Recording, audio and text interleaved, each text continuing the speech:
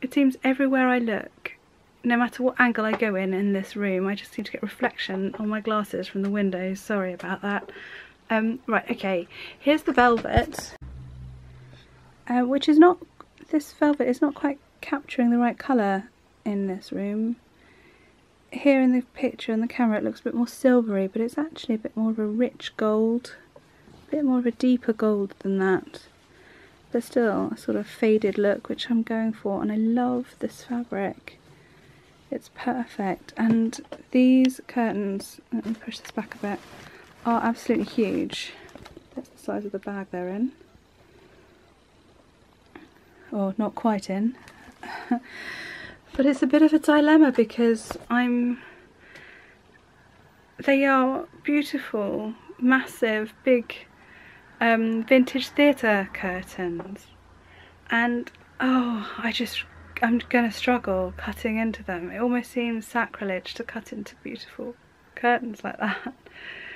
Oh, this is this is the horrible thing that us sewers face all the time. We get beautiful fabric and we have to set to them with a pair of scissors. But I think I'm going to have to get over it and just get on with it because um, it is lovely fabric, isn't it? And it's perfect. It'd be perfect for curtains for my camper. And then I start thinking, yeah, but it'd be perfect for a big wedding cloak, wouldn't it, Helen? And then I think, oh, maybe I should find something else to be the camper curtains and use that for a wedding cloak. And then I go around in circles. Ah, horrible, horrible. No, I'm sticking with them. I'm sticking with them. I'm going to use that fabric. I actually bought it to be a backdrop for photo shoots. And I used it once and I didn't actually like the effect. It looked a bit too amateurish. It looked like um, Mm, I don't know, some pervy amateur glamour photographer might use as a background. So I didn't, haven't really used it as that. And so I'm gonna, I'm gonna use it. I'm gonna do it. I'm gonna do it. Go on, you can do it. You can get this scissors. You can cut into that gorgeous fabric. You can. Um, okay.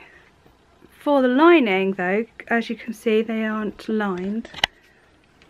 Um, it's just really heavy sort of coarse canvas. I mean, it's still actually quite nice on the back. Oh, I wish you could see the proper colour. I need to get the hang of white balance. This has gone far too bright. Oh, is that a bit better? Anyway, sorry, getting distracted. I have gathered together a whole load of um, saris, um, scarves and stuff which I think I'm going to use to line them with so that the curtains look pretty on the outside.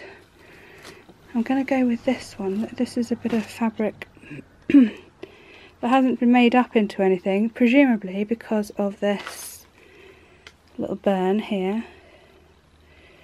Um, oh, there's a few actually. There's another one there, and another couple there.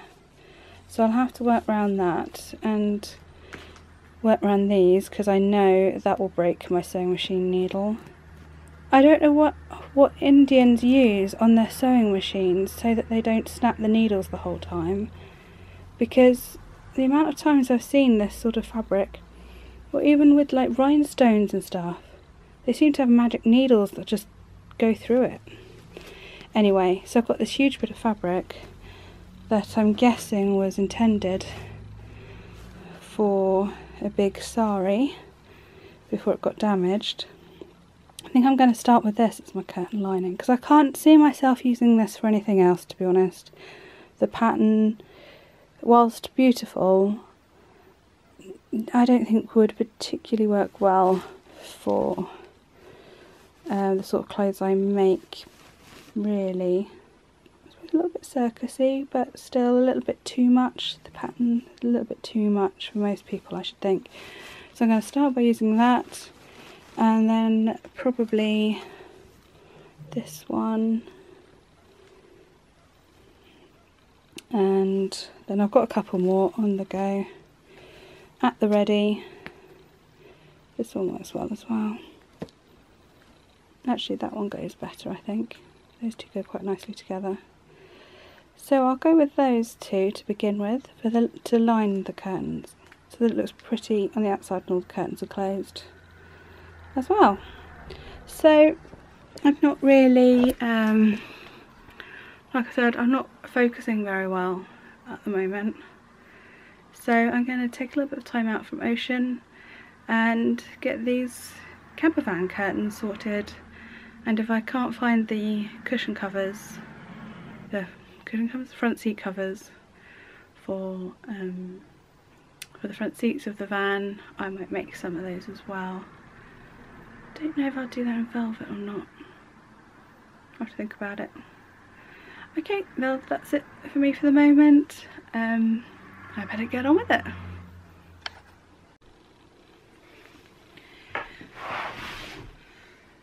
Well, there was no point in pretending that there was going to be enough space to do this in my study. So I've come into the living room to spread out the curtains.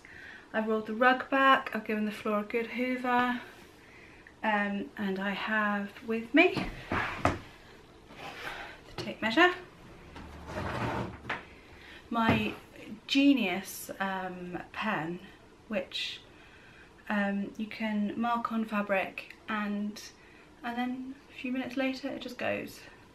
So I can mark my measurements on the fabric without having to worry about it. Um, my list of window measurements. And the biggest right angled thing, portable thing that I could think of, which was a, a whiteboard to do my right angles with, just to make it a little easier. Um, oh, I my scissors. I'm just to get my scissors. Right, I think I'm good to go. Um,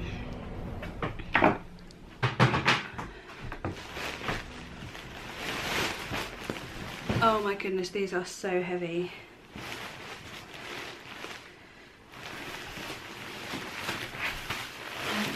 Easiest way to get out of the bag. Oh, that's worrying. That looks mouse chewed. Oh, I hope the curtains are alright. That doesn't mouse chewed. Oh no! Oh, they are covered in mouse poo. Don't judge me too harshly for having mice. I think the actual curtains are okay. I shall get the hoover onto this. We do live in a 400 year old house in the middle of a field virtually. Main road that side, field that side. And it's just inevitable to have mice even though we have three blue cats. Useless cats. Um, yeah not so nice. I think I might need to wash these first now. Oh, that's a real pain and it's raining.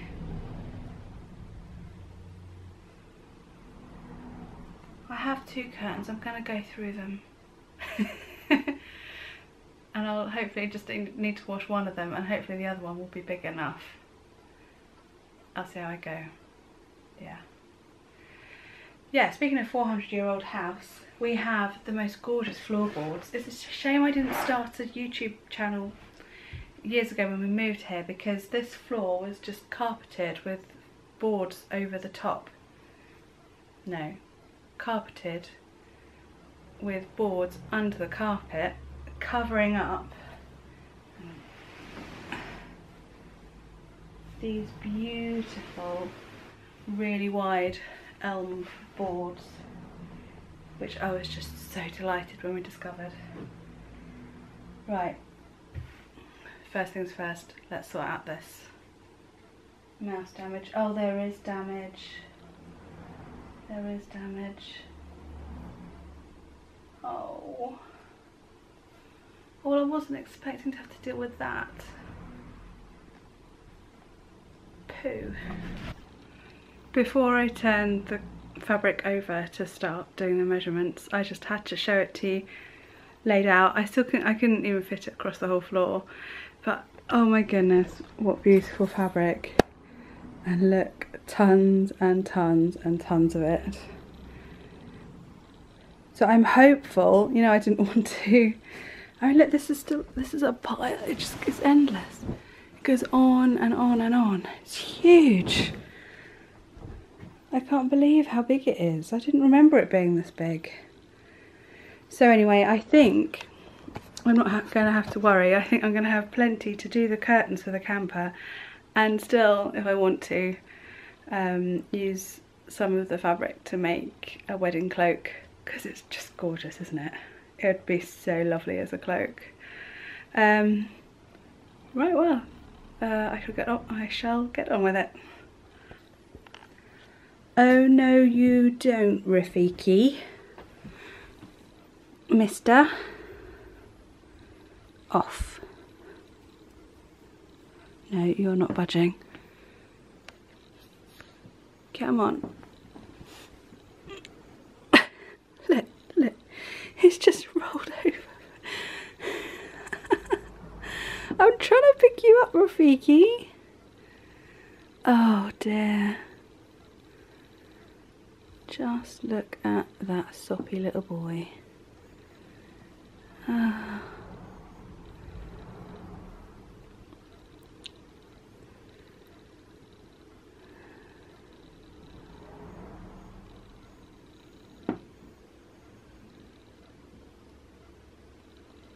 Sorry, this is not meant to be a cat video.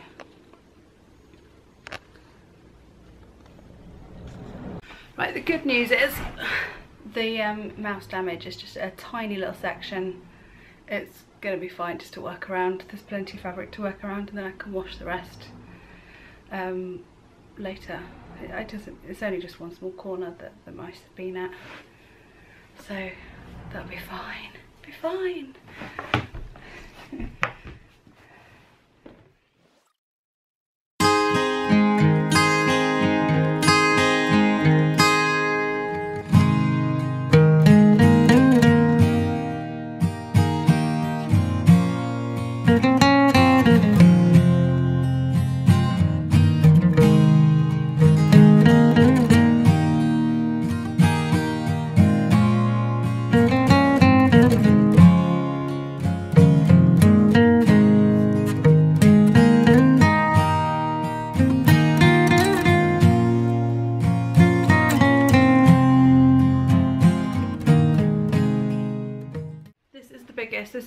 goes over the front windscreen and all the right the way around the front two door windows.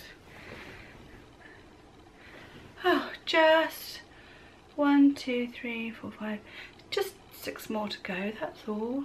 Oh, so hot and sweaty. This is quite hard work. Right, let's crack on. Mm-hmm.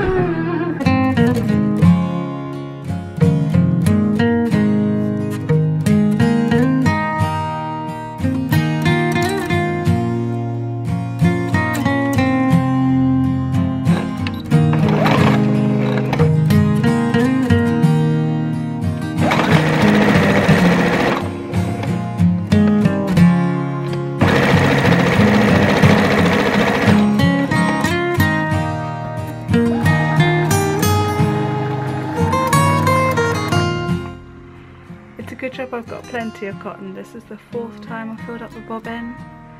I can't believe how much cotton this is going through just doing the edges.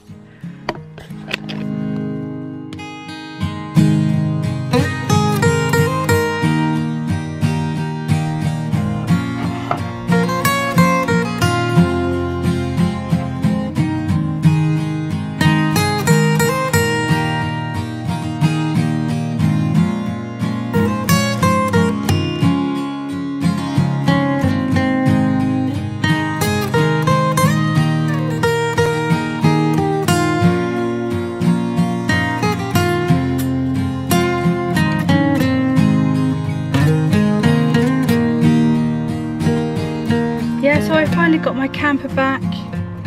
Um, you never believe what happened after it went to the garage to get sorted because the water cooling system it seems was the reason why the engine blew up. The people we bought the camper from didn't fit the new engine properly and there was no water reservoir apparently. Um, so it ran out of water, it overheated and blew up. So I um, literally got it back the morning I was supposed to be going to Cornwall to a friend's wedding, campsite all booked. Um, and on the way home, the uh,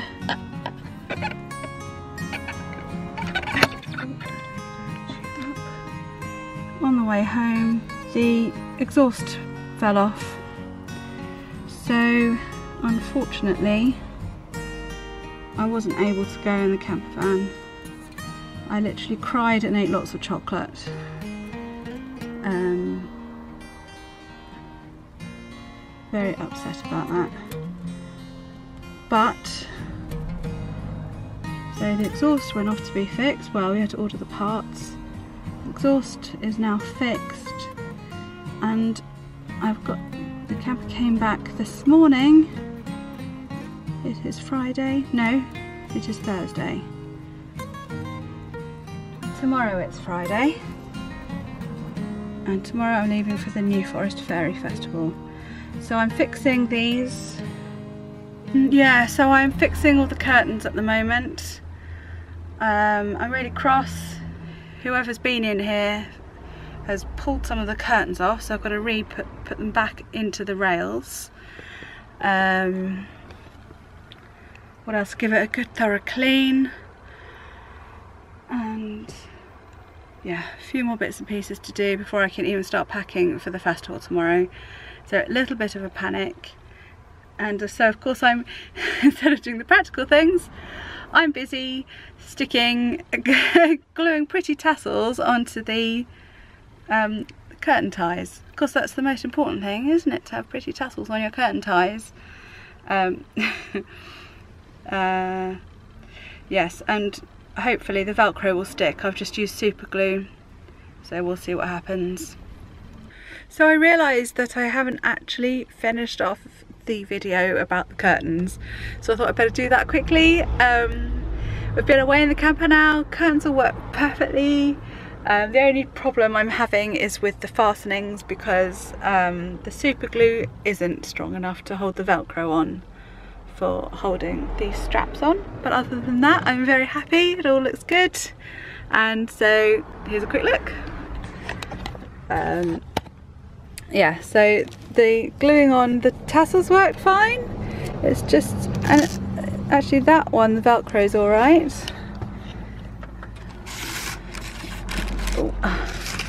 I won't pull them all out, but um, here's just a quick look. In fact, I don't know why that one's not done up. There's that one.